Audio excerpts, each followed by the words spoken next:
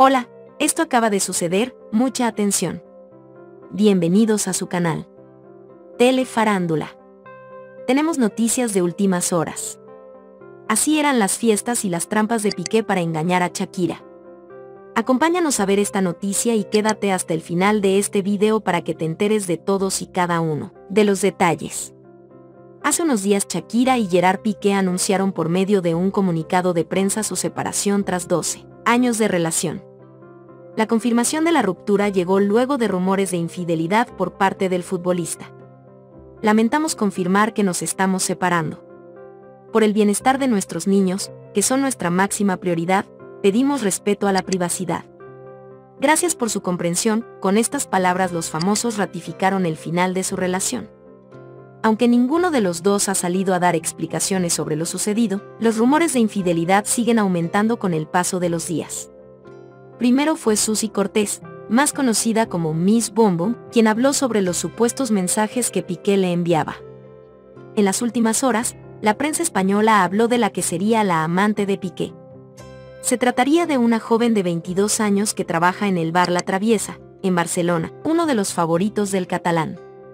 Ahora, la revista Socialité publicó este domingo cómo es la vida nocturna de Gerard Piqué. El futbolista tenía toda una estrategia para salir en las noches y encontrarse con otras mujeres sin ser captado por la prensa o por la cantante colombiana. Piqué llegaba a sus discotecas preferidas en taxi para no ser reconocido y se iba de la misma manera. Entraba por una puerta lateral que daba a un callejón solitario, ya dentro del lugar llegaba a un salón privado. Según la información de este medio, allí se encontraba con sus conquistas. Sobre todo con esta última que trabajaba en uno de esos lugares y de la que tanto se ha hablado. El salón privado consiste de una cortina roja y luego unas escaleras que llevan a un segundo piso.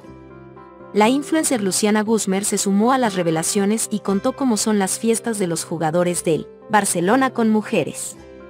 Había muchos jugadores que se portaban mal, que estaban ahí con modelos y que estaban casados, admitió Luciana, quien aseguró que en esas celebraciones se encontraba Piqué. En estas fiestas no estaba permitido el uso de celulares para evitar que saliera información sobre lo que pasaba. Entre la información que ha salido a la luz de la revista Socialité, lo que más ha llamado la atención es que la revista asegura conocer el nombre del nuevo amor de Piqué, la joven que habría causado su separación de Shakira. Según el medio, las iniciales de la mujer serían CC y habría ido varias veces al estadio Camp Nou a ver a Piqué jugar. Mucho se está hablando ahora en España sobre la situación del futbolista y la cantante. No olvides suscribirte a este canal y activar la campanita y compartir con tus amigos para que estén bien, informados de la farándula.